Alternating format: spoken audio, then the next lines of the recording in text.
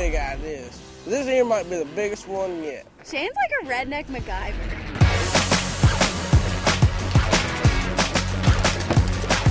We got the plastic tarp on the inside to hold the water inside, even though it's even though it's leaking a little bit, you can tell that keep water going on it.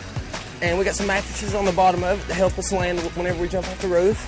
Now we're ready to jump in it and see what happens. The thing I love most about me and my friends, we are just hysterical. Like I don't.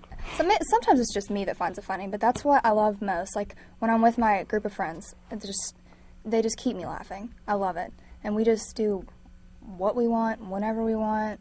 Craziness. Yeah. Awesomeness.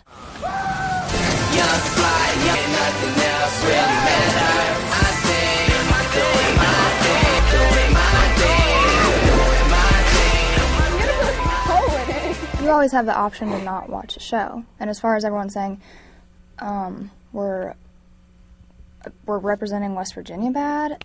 I just think that like I'm I represent myself and myself only. Even like my best friends on the show, like if they do something embarrassing, I wouldn't feel embarrassed because I speak for me, you know? So how could we represent the entire state of West Virginia? I just think it's silly Right. and stereotyping's ignorant anyway. So whatever.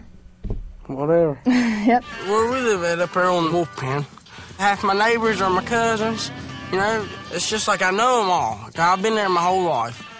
There's uh, Uncle Charlie up on the right, then Sneedy all the way on top. Got my sister, and then my mom lives at the end of the holler. My parents mean everything to me. If it wasn't for them, I wouldn't be here, you know? I don't know how people are going to react. I hope they like it. They should like it, because it's fun. I mean, we're just a bunch of kids having fun, you know? I hope they can relate. What we do. I don't have no phone. I don't have a, a Facebook. I don't have um none of the internet stuff. If I need to talk to my neighbors, all I gotta do is come out on the porch. Hey, guess what? I need a loaf of bread. Bring it over here. I need a cup of milk. Bring it over here. That's why it's called a holler. When you holler in a holler, it echoes and everybody can hear it.